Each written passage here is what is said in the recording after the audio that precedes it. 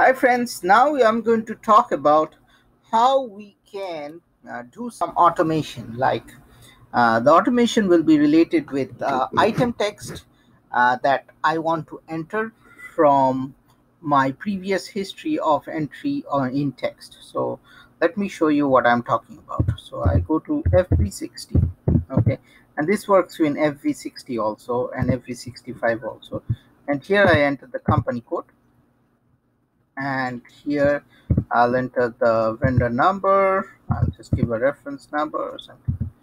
Uh, okay, give this and I'll put 100 and here I'll put a text. Okay, test uh, copy in line. Okay, and here the GL account I'll enter and uh, do I need to enter any other thing?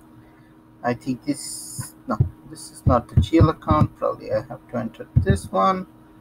And here in the text field where is the text field?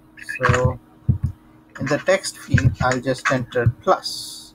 So I I showed before if we enter plus plus this this this field will copy to here. Okay? So we are just pressing enter. And it would require a value date or something. So I'll just put a date and if you see the plus plus copies. Now I I suppose I want to put test copy and I'll put the same same GL here also. And I'll put the date you know just for the heck.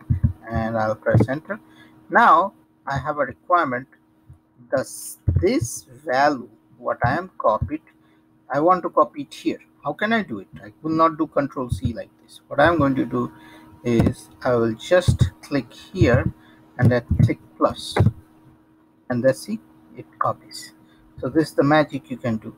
So plus plus basically copies it from here and plus just copies it from whatever you wrote before. Okay? So if I if I had written suppose 5 and and I probably hit plus. Now it shows 5 okay? So that's the magic you can do. So that's it. Stay tuned to my SAP channel and happy SAP learning and have a great day